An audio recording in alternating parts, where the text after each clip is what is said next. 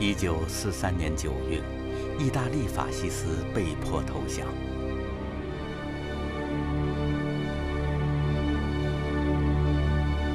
德国法西斯和日本法西斯也分别于一九四五年七月和八月被迫投降。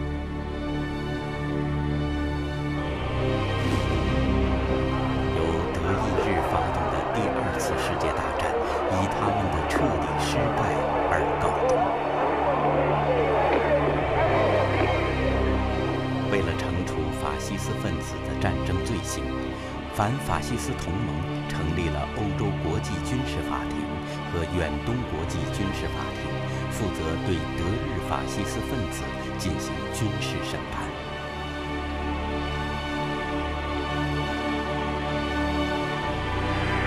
由于这两个法庭分别设在德国的纽伦堡市和日本的东京市，史称纽伦堡审判和东京审判。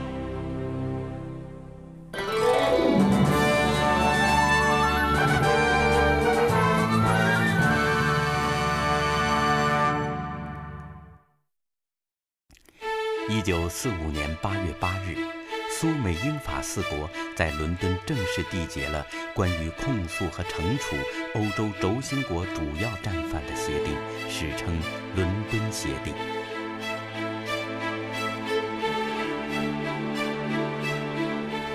此后，又有二十个国家参加了该协定。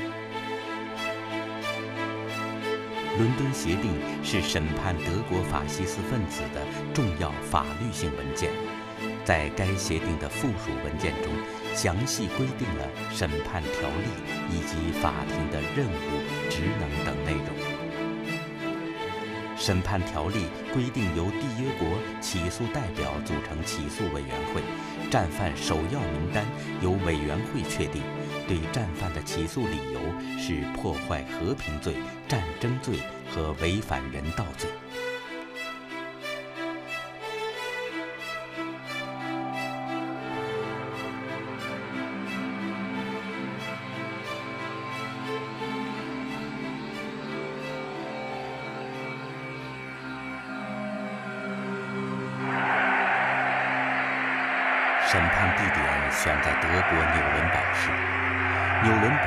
德国纳粹分子的巢穴，纳粹党在此召开过多次党代会。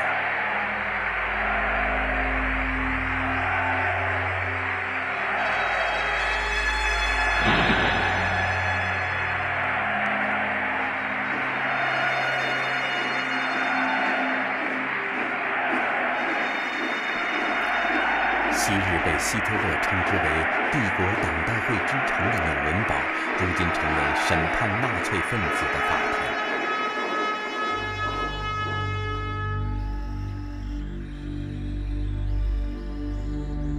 在开庭之前，盟国进行了大量艰苦的调查和收集取证工作，集中的各类证据证物总量超过千吨。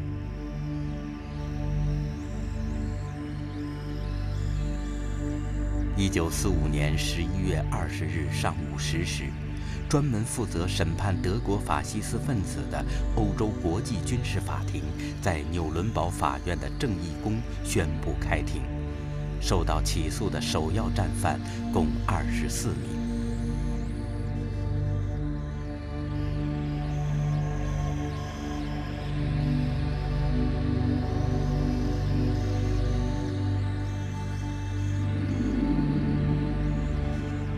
包曼仍未被缉拿归案，莱伊在狱中畏罪自杀，克鲁伯获准暂不出庭。实际被带上法庭的只有赫尔曼·格林、约翰·里宾特洛夫、威廉·凯特尔等二十一名被告。这二十一名战犯都是德国法西斯统治时期的重量级人物。对于纳粹的战争罪行，负有不可推卸的责任。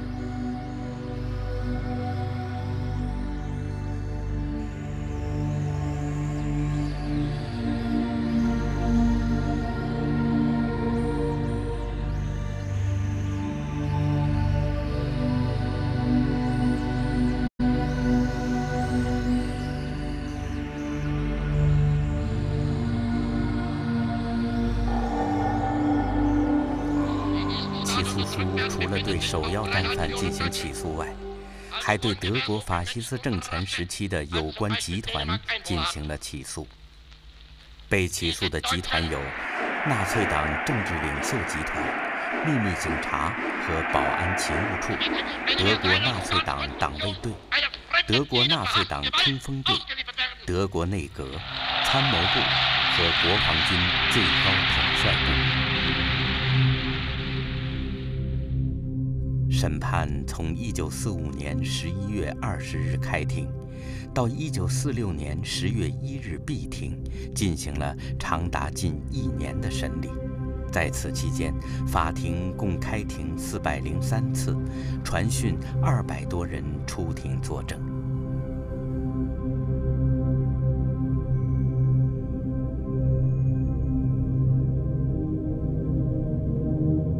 收到律师提交法庭的书面材料三十万条，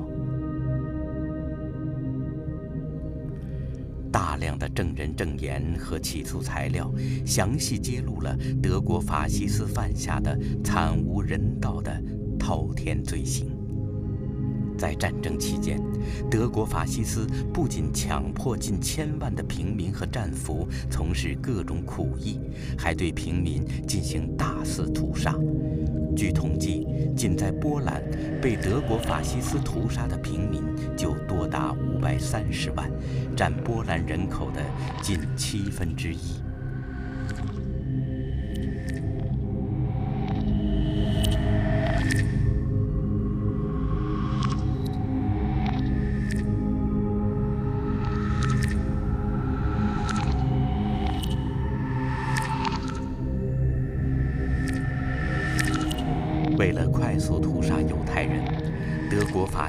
在奥斯维辛等许多集中营中建立了被称作“瓦斯杀人工厂”的毒气室。据估计，被毒气杀死的犹太人超过二百五十万。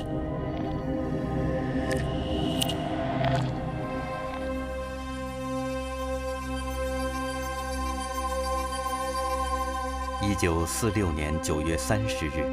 法庭宣读长达二百五十页的判决书，十二名首犯被判处绞刑。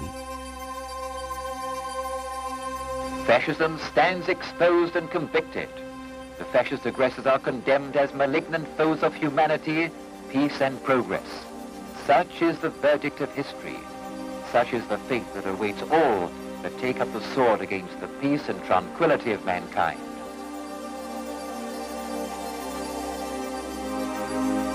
他们是纳粹政权第二号人物，陆军元帅及帝国元帅格林。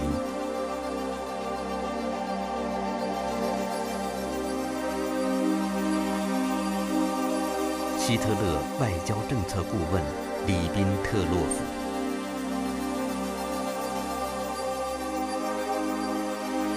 德国东方占领区事务部长罗森堡。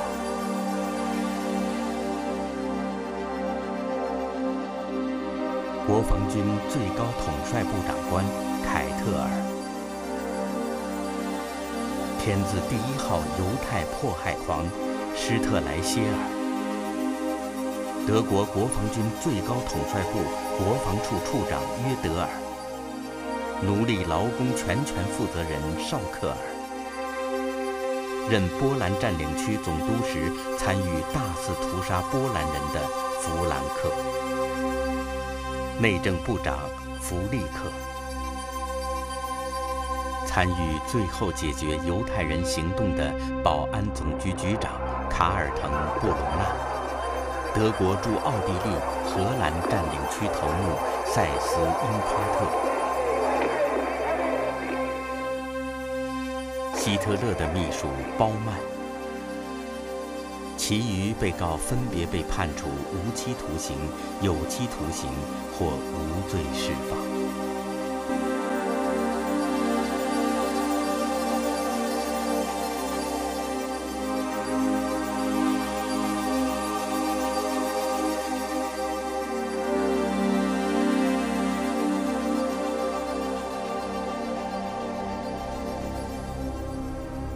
在对集团的起诉书中。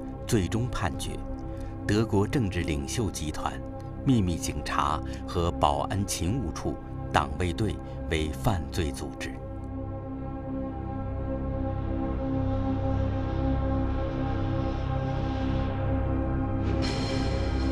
一九四六年十月十六日凌晨开始行刑，刑场设在纽伦堡监狱的死刑室。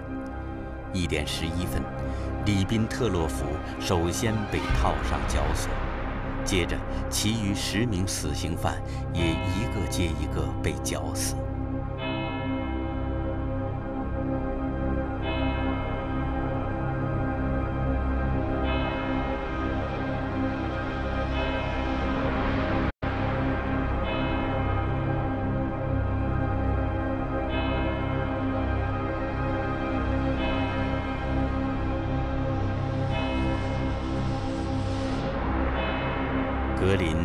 行刑前两小时吞下偷偷带入监狱的氰化钾而自杀。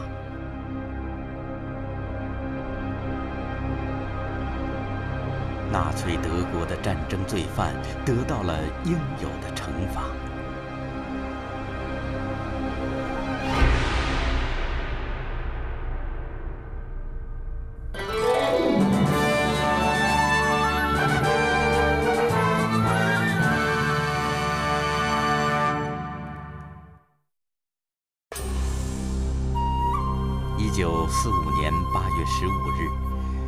法西斯宣布无条件投降，并于九月二日正式签署了投降书。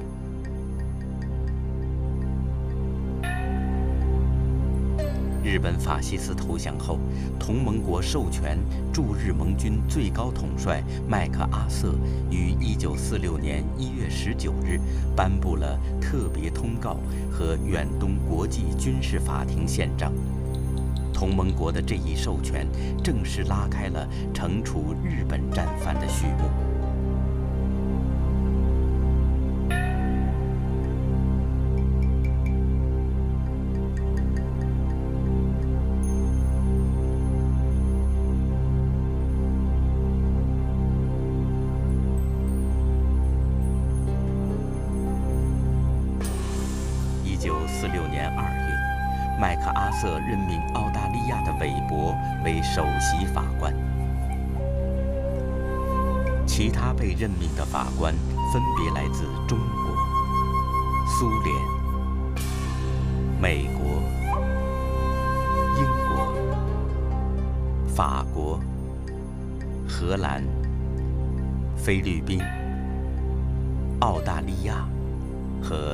和新西兰。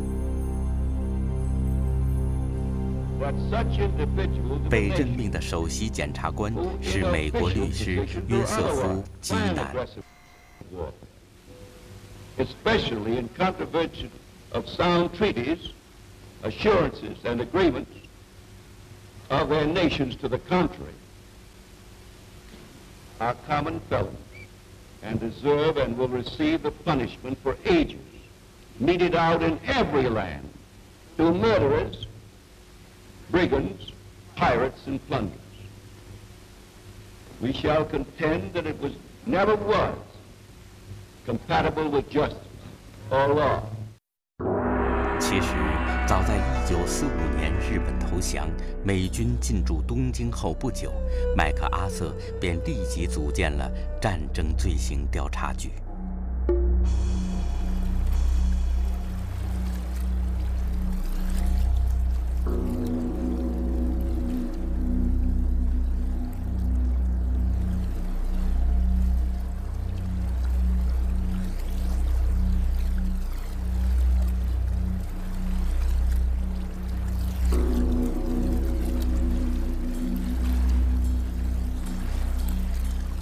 四五年九月十日，该局确定第一批应逮捕的三十八名战犯嫌疑人名单。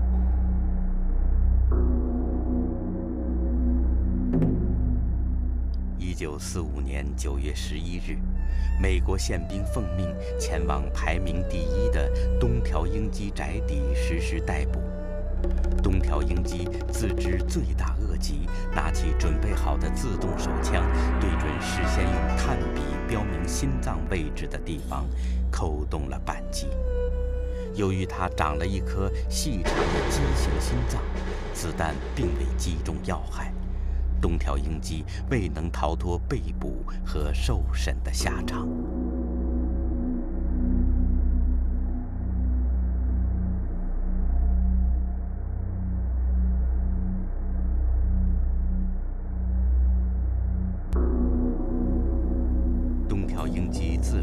随后不久。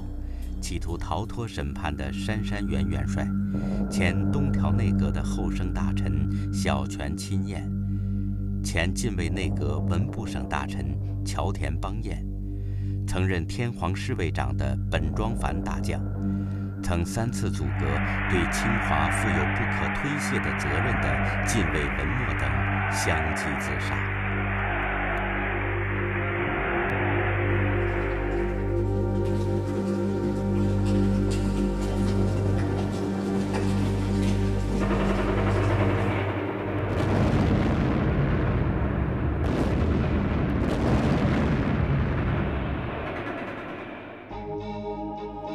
九四六年四月二十九日，国际检察局以盟国的名义把起诉书送达远东国际军事法庭。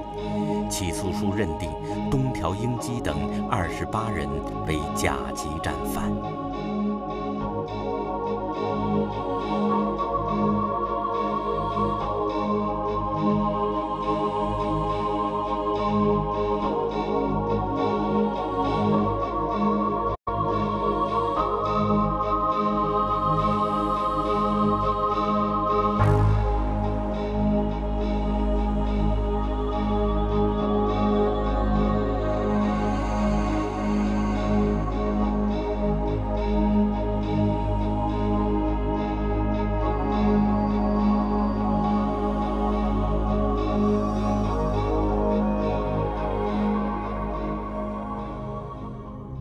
九四六年五月三日十时，远东国际军事法庭正式开庭。法庭就设在日本陆军省的军部，庭长室设在原东条英机的办公室。首席检察官基南宣读了长达四十二页的起诉书。起诉书共列举出五十五项罪状，其中第二十七项罪状是对中国实行侵略罪。对起诉书的指控，二十八名罪犯均辩称无罪。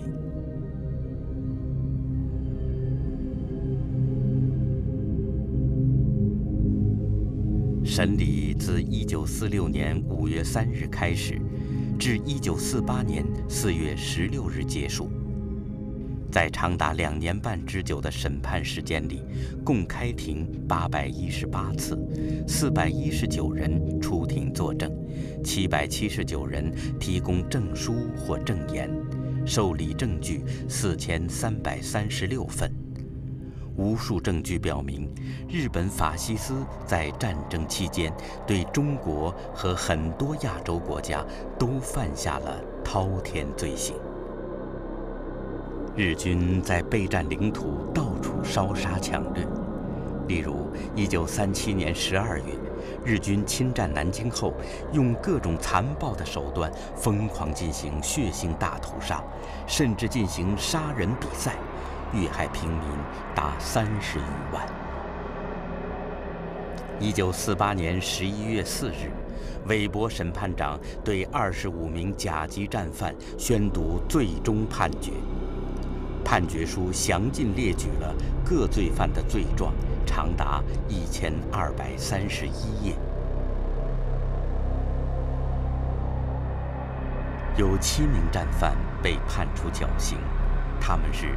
掌握军政大权、指挥侵华战争和发动太平洋战争的东条英机。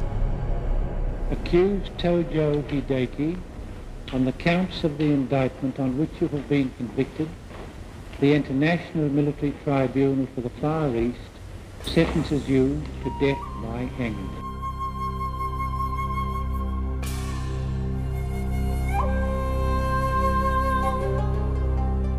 曾任总理大臣、外务大臣，制定发表企图吞并中国和东南亚政策“广田三原则”的广田弘毅。Accused Hirota Kogi, on the counts of the indictment on which you have been convicted, the International Military Tribunal for the Far East sentences you to death by hanging.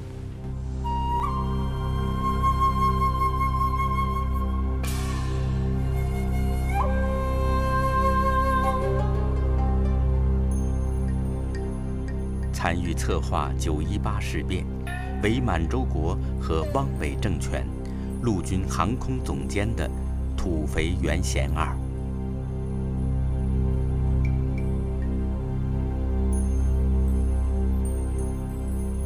Accused Doihara Kenji, on the counts of the indictment on which you have been convicted, the International Military Tribunal for the Far East sentences you to death by hanging.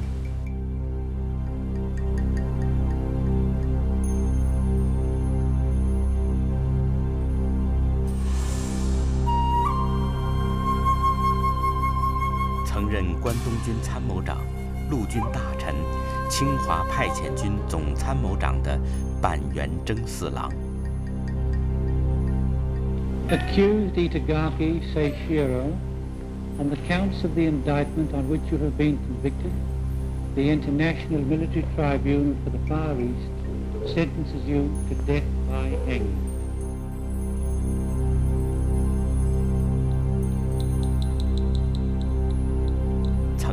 侵略中国济南的日军师团长，侵略中国东北的关东军参谋长。侵略缅甸方面军司令官，被称为“缅甸屠夫”的木村兵太郎。Accused Kibura Eitaro, on the counts of the indictment on which you have been convicted, the International Military Tribunal for the Far East sentences you to death. 曾任清华方面军司令官，上海派遣军司令官。亲自指挥南京大屠杀的松井石根。Matsui Awani, on the counts of the indictment on which you have been convicted, the International Military Tribunal for the Far East sentences you to death by hanging.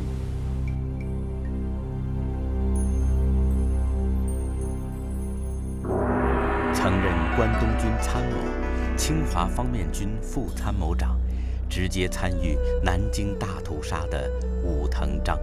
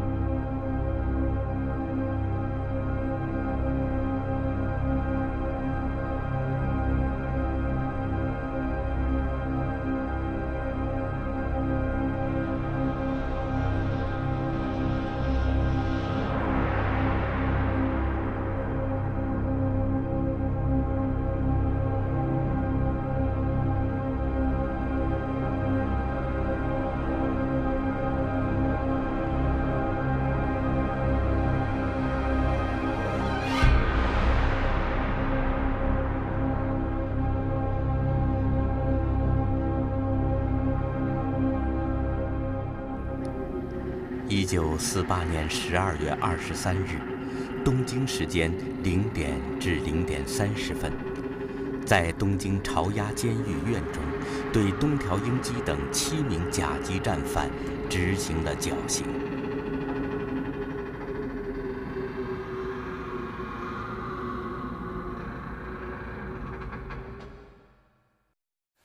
纽伦堡审判或东京审判是人类历史上第一次以国际法庭的形式惩处发动侵略战争的国际战犯。通过这两个审判，使德日法西斯分子受到了应有的惩处。在肯定审判的正义性的同时，我们应该看到，东京审判和纽伦堡审判相比，东京审判存在着对日本法西斯惩处的。不彻底性。由于美国直接操纵东京审判，包庇日本战犯，致使日本法西斯的最高统帅天皇的战争责任未受到追究。这不仅对众多受害国是极其不公平的，同时也使日本军国主义的祸根未能被彻底铲除。战后，日本军国主义阴魂不散，右翼势力十分嚣张。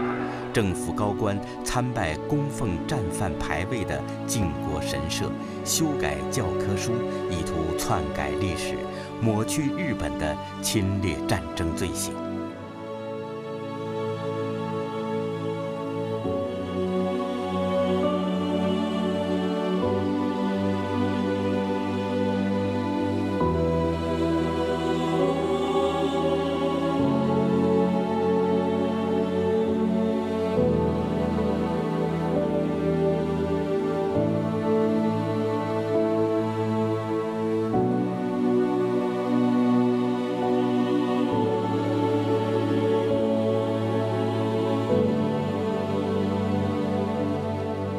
尽管东京审判不尽人意，但这两次世纪大审判还是惩治了恶魔，伸张了正义，是世界人民反法西斯斗争取得的伟大胜利。